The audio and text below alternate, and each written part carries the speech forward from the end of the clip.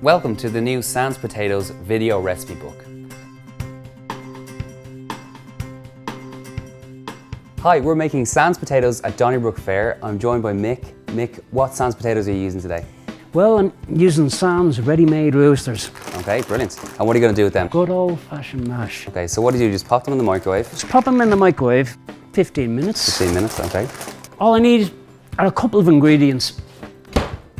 Less is more. Would you be a fan of making mash? Is that? Yeah, in my house I'm the king of mash. And of course as well, like you can have mash with anything. You can can it with anything. I mean, it's with any meal. I mean, you have chops, bangers, as they say.